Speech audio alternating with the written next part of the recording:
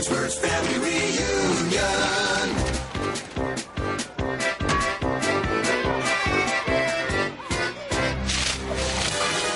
Oh, hi, Perry the Platypus. Welcome to the Doofenshmirtz family reunion. They're just about to start the dreaded kickball game that my mother organizes every year. The one my brother's team always wins. You see, I'm not very coordinated with my feet, but with my hands. Hey, watch this! See, I hold the cup stacking world record, but does my mother care? And no! You see, Perry the Platypus, throughout my childhood, my